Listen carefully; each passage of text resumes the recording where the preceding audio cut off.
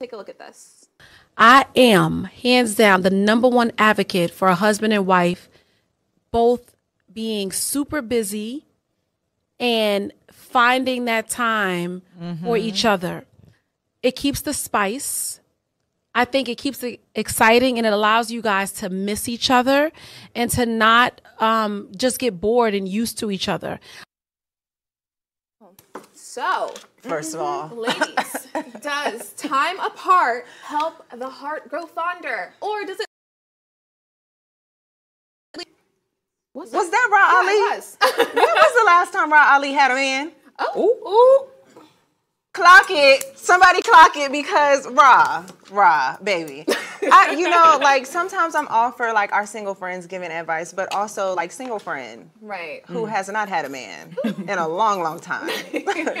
single friend. Right. Stay in your single lane. Oh, so Not stay in your single lane. right? Do you not agree with her?